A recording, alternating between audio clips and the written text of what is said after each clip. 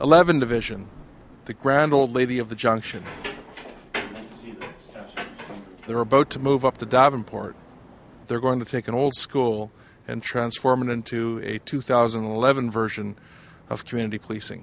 This was a piece of property that was brought forward to us a while back, going to be abandoned by the TDSB.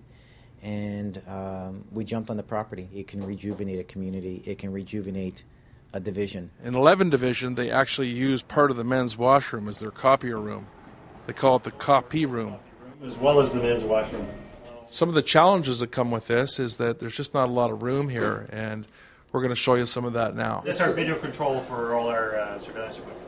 We found over the years that this uh, building's become increasingly cramped and, and, and less appropriate, particularly as our organizations moved into a community focus. And there's no police division that represents that more than here in 11 Division, which uh, takes in Parkdale and obviously the junction. I mean, the school's just been sitting empty for so long now. They might as well use the property. I don't think it'll make a difference. It doesn't make a difference over there. When you see this building on Davenport, um, it's actually quite remarkable. Uh, architecturally, historically, and uh, just as a building on itself.